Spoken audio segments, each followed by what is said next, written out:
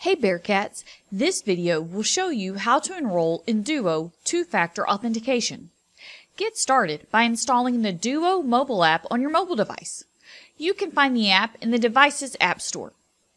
After downloading the mobile app, go to your computer and visit the Duo enrollment website at duo.shsu.edu.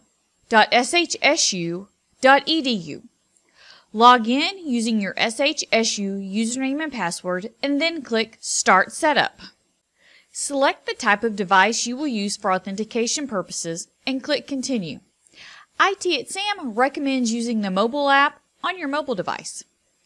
Enter your cell phone number and click Continue. Select the type of mobile device you are using and click Continue. The images used in this video are for an Android device, but the instructions are the same for Apple devices. If you have not already done so, install the Duo mobile app on your mobile device.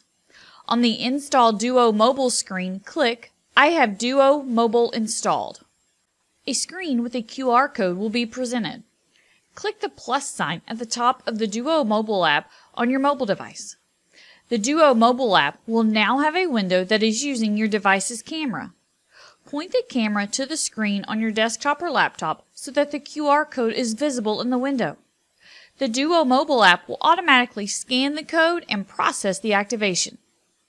The following key icon with Sam Houston State University will appear in the Duo mobile application.